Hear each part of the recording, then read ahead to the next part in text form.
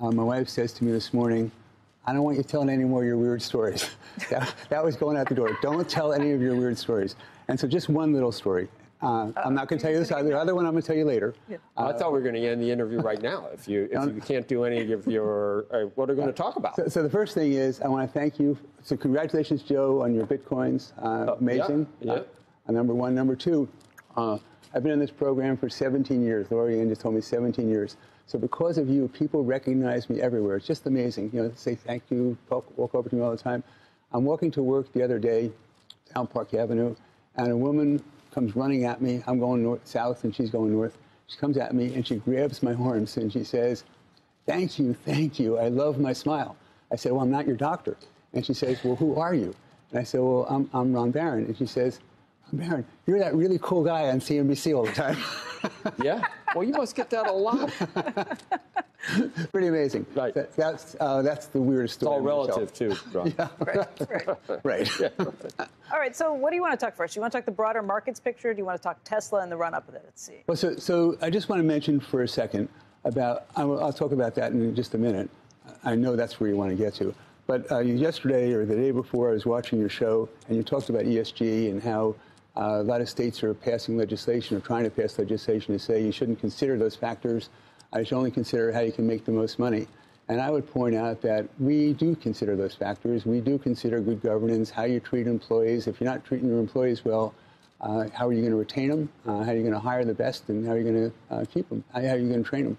So basically, uh, we're interested in these things, and also we're interested in making sure that the companies in which we're investing uh, haven't got these risks that we're not aware of. So we do, we are conscious of that.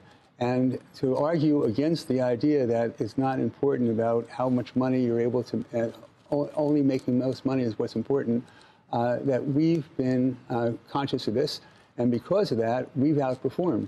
So 98.8% of our stocks have done, of our funds have done better than the market. And 45.5% uh, are in the top 1%. Not only in the top 1%, uh, but number one in their categories. And Baron Partners Fund happens to be the number one performing mutual fund in the United States since 2003 when it became a mutual fund.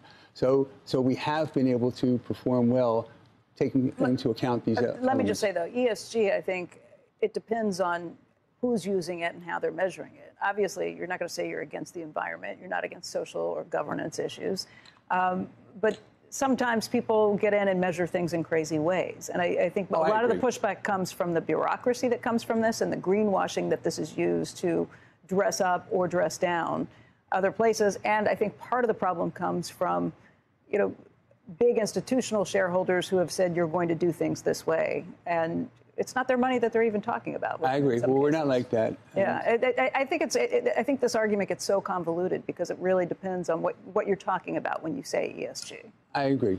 I agree. Anyway, so we are conscious of how companies act and how they treat people and how they treat shareholders, and so uh, so we're aware of all these things.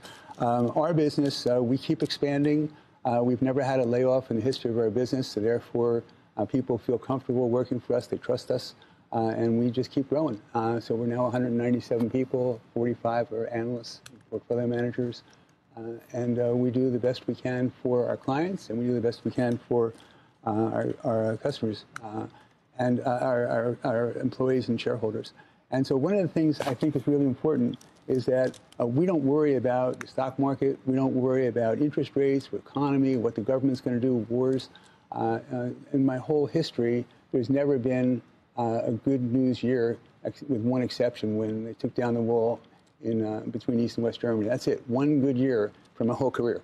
And uh, yet, uh, the stock market in this whole period of time, uh, with terror attacks and inflation and wars and pandemics, uh, with all of that going on, the stock market is up 34 times since 1970 when I began my career. It was 1,000 then, it's now 34,000. And the economy, by the way, in that whole period of time, is also up. Uh, it's up 33 times. It's gone from 800 billion dollars of, of, GDP uh, to 26 and a quarter billion. So despite all this stuff everyone talks about all day long and trying to figure out what's going to happen, uh, market's up 33 times. And what I think is growth is now beginning to accelerate. And over the next 50 years, compared to the last 50 years, I think that you're going to have faster growth uh, than 7%. But uh, assuming that you get the same 7%, That means that you're going to have 35 times your money over the next 50 years, which means that the Dow Jones, which is now 34,000, will be 900,000. Uh, so, so when everyone talks about, well, is it going to be 32,000 or 33,000 or 30? I'm thinking about 900,000. Why do you think faster growth over the next 50 years? Because there's a lot of people who think, let's say over the next 10 years, you could see much slower growth than 7%. I mean, that's been the concern for a long time. Well, uh, inflation is 4 or 5% of that 7% growth, and real growth has been 2%. And all the growth that's really happened in the world has taken place in the past uh, 20, 30, 40 years. And, uh, and that's accelerating So because you of technology. inflation, but you expect inflation to be higher too? I expect inflation to be, as it always has been, as it has been in every single democracy that's ever existed, 4 or 5% a year. So I think everything is going to uh, you know, be twice as expensive in, uh, in, in 14 or 15 years than it is today. So it might touch down at 2 or 3%. Uh, but even Volcker, when he left in 1986 or 87, even then it was down to 3% from 18 or 19. We've gone from 9 or 9.5 to 4 or 4.5 or something like that. So maybe go a little bit lower, uh, but it's not going to stay lower. And it's, it's part of our, uh, of our